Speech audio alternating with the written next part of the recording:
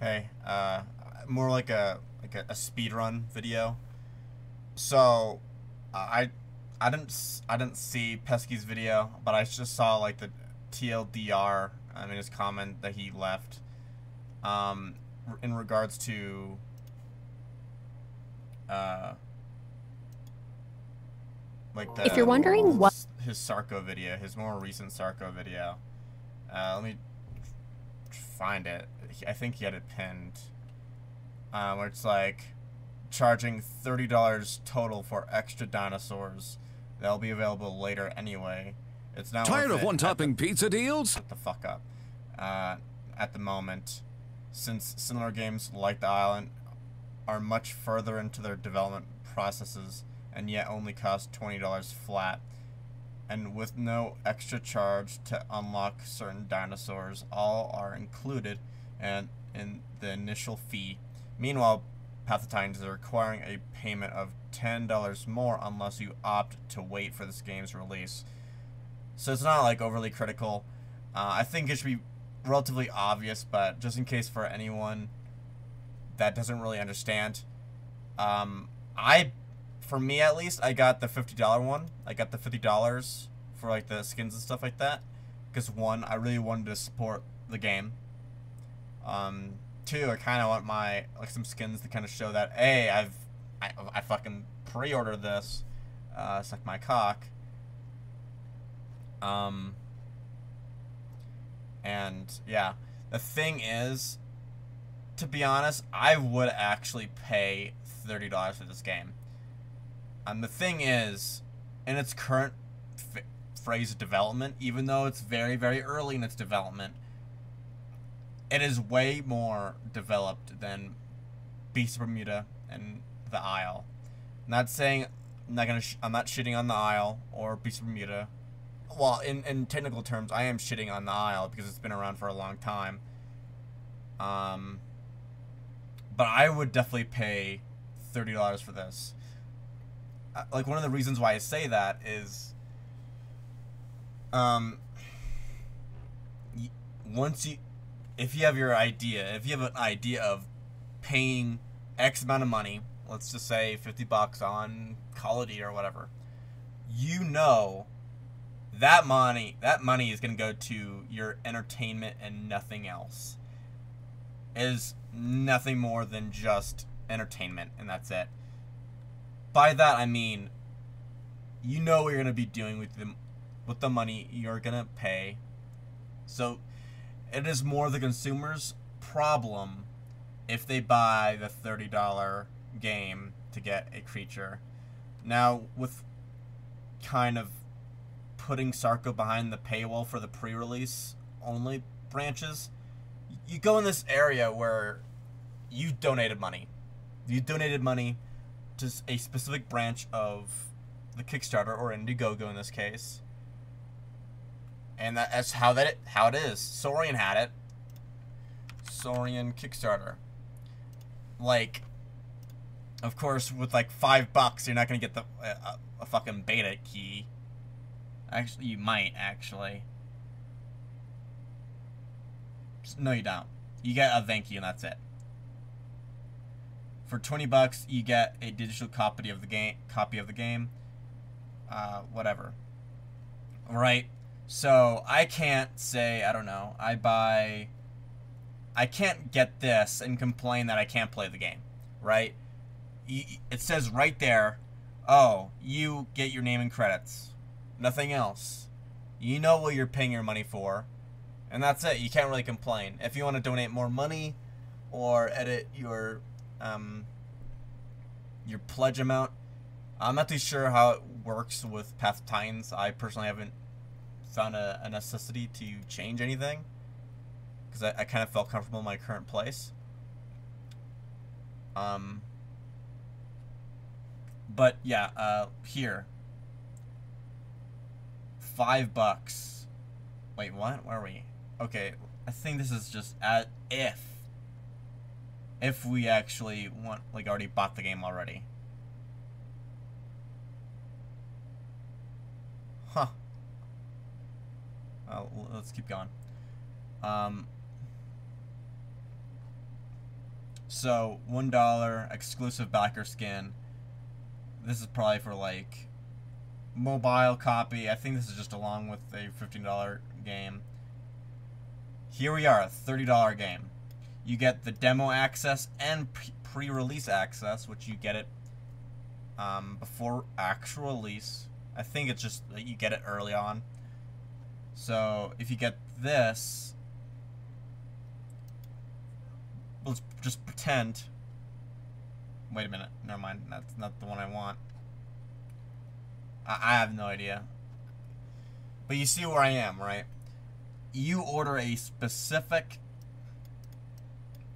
little um, perk which you purchase. Of course, you're putting money on the table, and you know that money is not going to be there anymore. I mean, I would think most of you guys are going to be adults or have a job, so you you know the you know very well the risks that you're putting on the table.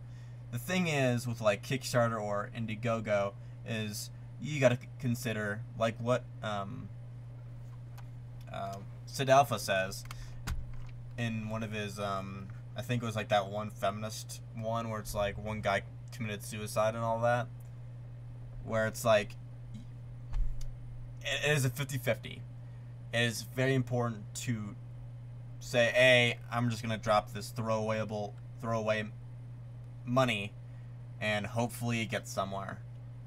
Um, but you also accept the consequences of it not actually paying to for tuition and leading to a disappointment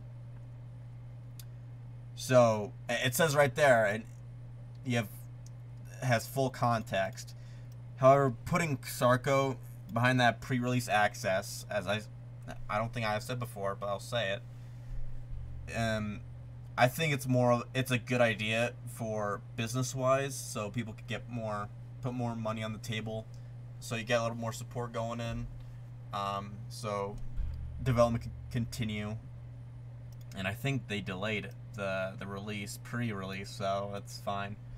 I'm not necessarily. I don't have a problem with that. So here's the one I bought, right? So I get below items for Windows and all that full game access, demo access, pre-release access, all 18 exclusive backer skins, one copy of a digital soundtrack, and one digital art book.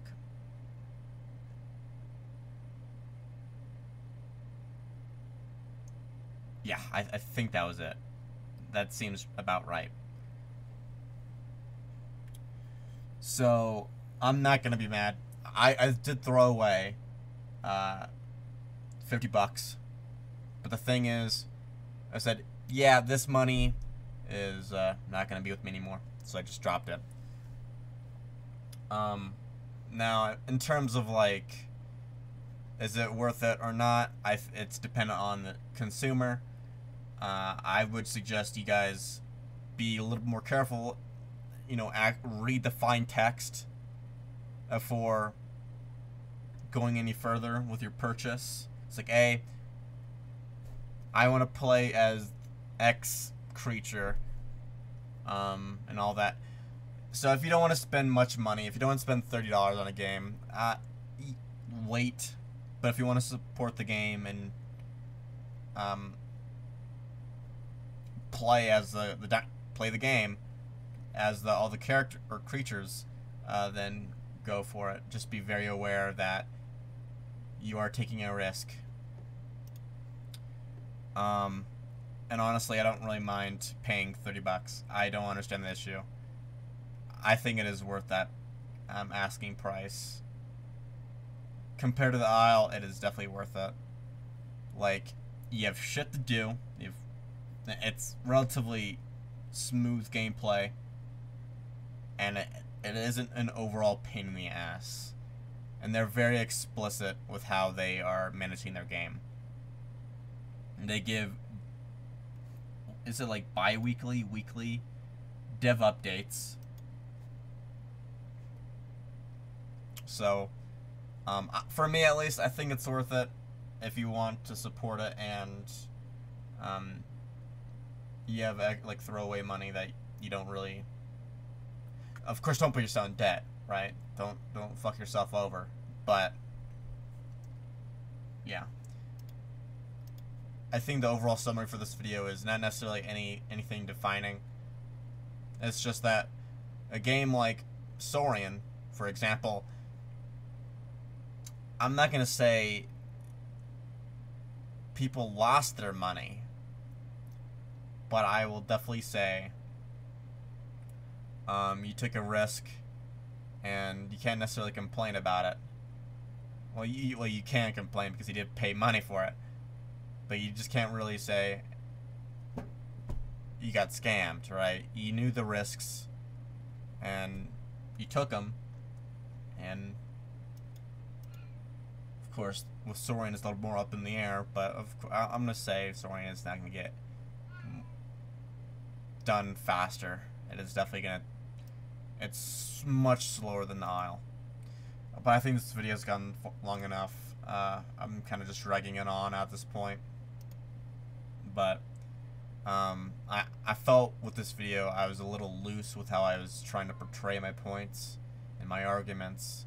But I hope my idea came across generally well, or to an extent of being understandable. Uh, fuck, understandable. Um, so, yeah, I mean, it, it, I would say it's overall very much worth it to pay money for this, and yeah, uh, see you guys.